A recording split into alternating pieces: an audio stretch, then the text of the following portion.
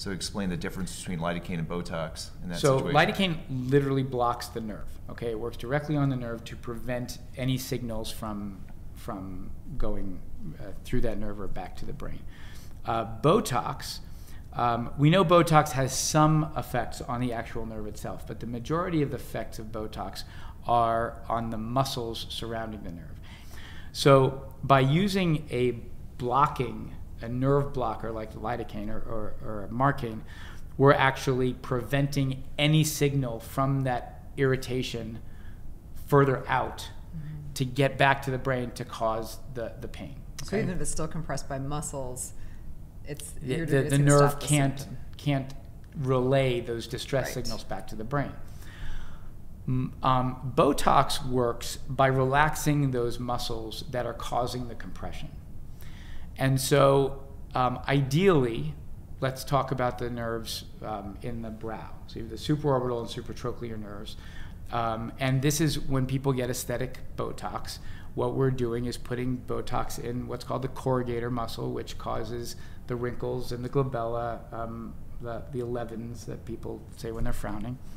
Um, and these nerves go through that muscle.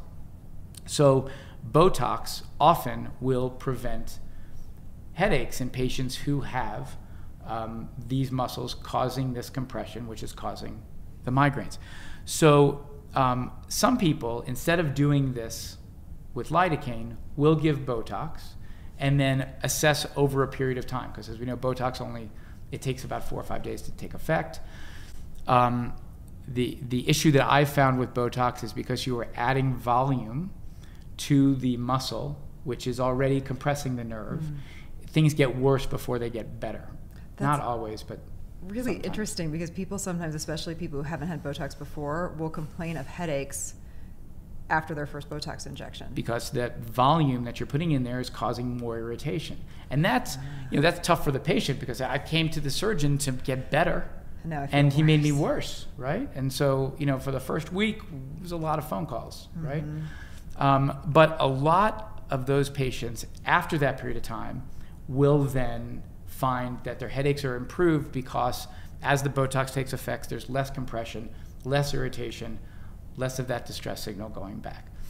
Um, however, Botox again works on muscle, but it doesn't work on um, blood vessels or bones or fascia, which is you know connective tissue, and a lot of times there are these other non-muscular things that are causing the compression. Mm-hmm.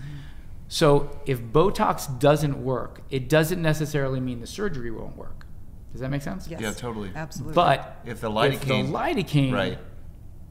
doesn't work, that's a better prognostic thing in my world that okay, even if we block the nerve, right. the headache's not change. getting worse, right? Yeah. And I can tell you that's I've seen that twice mm-hmm. right? I mean, almost everybody that gets to me is improved by these blocks, which is remarkable because I'm granted I'm I'm a, I'm seeing a very small subset, mm-hmm. but if almost everybody that I'm seeing is responding to this, you know, you gotta wonder how many people are out there that are potential responders, right? Yeah. Yeah.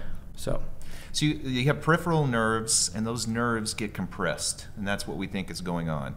There are certain areas of the head that uh, we see this over and over with migraine sufferers.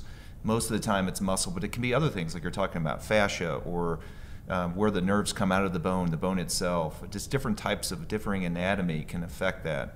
Uh, they come in, you use the lidocaine to numb the nerve, and if they get resolution of symptoms or an improvement, then you have a good idea that something around this nerve is irritating it if I can go in there and release it and give it some freedom, it won't be so angry and send back painful stimuli to the brain, which then relates to this chronic problem called migraines. Yeah, I guess we're done. Okay. We just did the whole, that's right. Exactly.